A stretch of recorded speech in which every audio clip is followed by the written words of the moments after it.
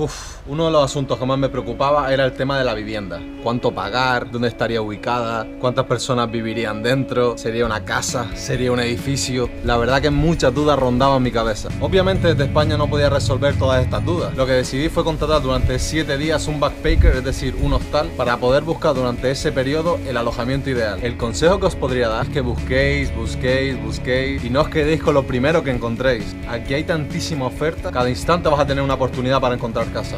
Ahora bien, lo que primaba en mi caso era la ubicación. Quería una casa que estuviera cerca de la escuela para poder ahorrarme tiempo y dinero. También hay que tener en cuenta, obviamente, cuánto dinero estamos dispuestos a pagar, tanto de bond, que es la fianza, de semanas por adelantado y de la semana en sí. Ahora bien, cuando ya tenemos todo esto claro, ya solo queda ponernos a buscar. Bueno, para ello tenemos inmensas opciones. En mi caso solo busqué en Gumtree, Real Estate y Flatmate. Bueno, Real Estate son arrendamientos a través de una inmobiliaria. Requieren de una mayor solemnidad y formalismo. Piden muchos requisitos. El primer requisito que os vais a encontrar es que tenéis que llegar a un total de mínimo 100 puntos, los cuales se consiguen mediante identificación a través de la visa, pasaporte, tarjetas de crédito, de débito, licencias de conducir, etcétera, etcétera. Una vez verificado el paso anterior, van a proceder a verificar tu solvencia económica, así como disponer de referencias anteriores. Como veis, es un procedimiento un poco más complejo, pero sí es verdad que quizás nos da un poquito más de garantía.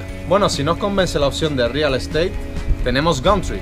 En este website nos vamos a encontrar de todo lo que nos imaginemos. Coches de segunda mano, motos, bicis, freebies, es decir, donaciones, voluntariado, trabajos, arrendamiento de casas, venta de casas, es decir, un sinfín de ofertas. Y bueno, por último voy a desvelar el que más me ha ayudado a mí, Flatmate. Bueno, es una aplicación muy sencilla de manejar, muy intuitiva. Realmente aquí vais a encontrar ofertas de todo tipo. Podéis filtrar por pareja, sin pareja, género masculino para género femenino, en fin, un sinfín de posibilidades. Honestamente es la aplicación que más me ha ayudado. Si es verdad que tener en cuenta que la mayoría de los anuncios son de pago, es decir, para poder comunicarnos con el ofertante tenemos que pagar una cuota y una vez que pagues esa cuota ya eres libre de comunicarte con quien quieras. Bueno, también está claro que hay otros medios alternativos y también eficaces, tales como el boca a boca, revisar periódicos y diarios y revisar los foros en internet.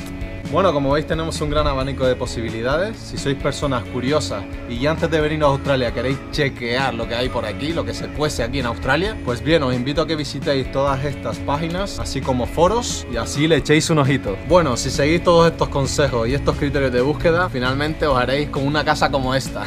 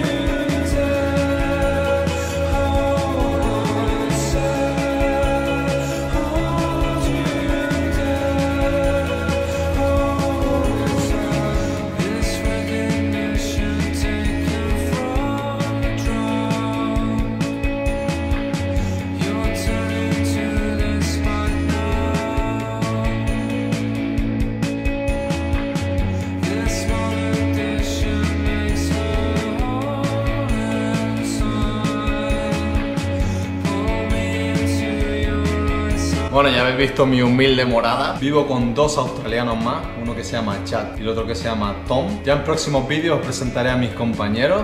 Y bueno, decir que estoy muy feliz, muy contento eso sí, tened cuidado con las ofertas, no hagáis nada desde vuestro país. Siempre tenéis que buscar desde aquí in situ y seguro que vais a encontrar algo que se adapte a vuestras necesidades. Y bueno, para todas esas personas más curiosas, deciros que pago un total de 170 dólares a la semana. Sí, porque aquí el alquiler va por semana, con todo incluido agua, internet y electricidad. Todo un chollo, ¿no?